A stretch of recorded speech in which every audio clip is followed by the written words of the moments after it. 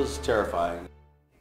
Another instance of gun violence leaving people shaken up, this time happening at a crowded midtown restaurant on Saturday night. This as the city of Tallahassee comes up with ideas to drive down violent crime like that shooting. Good evening. I'm Ava Van Valen. ABC 27's Kendall Brand is taking a deeper look at the city's proposal and spoke with local business owners to get their reaction to the shooting. And Kendall, what is the city proposing?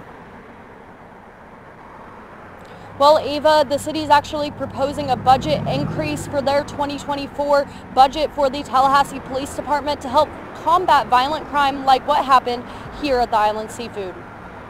We were outside and um, we heard the gunshots start to ring out. Um, we, of course, immediately pulled everybody back inside and you know went into lockdown, secured uh, the doors and got them away from the windows. Phoenix Moon is one of the managers at the Rose Room, an LGBTQ bar that opened on Monroe Street earlier this year. He says his patrons were shocked and scared when they witnessed that gunfire. They were very upset. They were uh, very scared. Um, because at the time we didn't know if we were being shot at or if it was just shots ringing out near us but it was literally right across the right across the street, right across the parking lot. So it was it was very scary. This is just one example of violent crime that has prompted the city of Tallahassee to propose a $9.5 million increase in funding for the Tallahassee Police Department.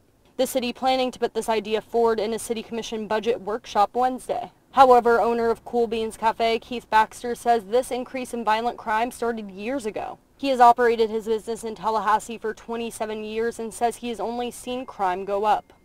In the context of my business, we, found a loaded gun in the ladies' room um, about two years ago, sitting on the hand sink. Um, I just think it's the way of, of, the world, way of this country right now. The city of Tallahassee is hoping that adding 20 more officers and new technology could be the answer to stopping this crime.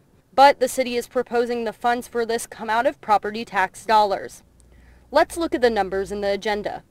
The city is proposing a 3.3% increase in property tax, which they say would equate to an increase of $12 a month or $139 a year. But for now, Moon says he hopes this violence comes to an end. No, I really haven't seen anything else like this. This is the first for us and hopefully the last. This proposed budget increase for TPD still has a ways to go with the spokesperson from the city telling me that the final decision won't be made until the fall. Live in Tallahassee, Kendall Brandt, ABC 27.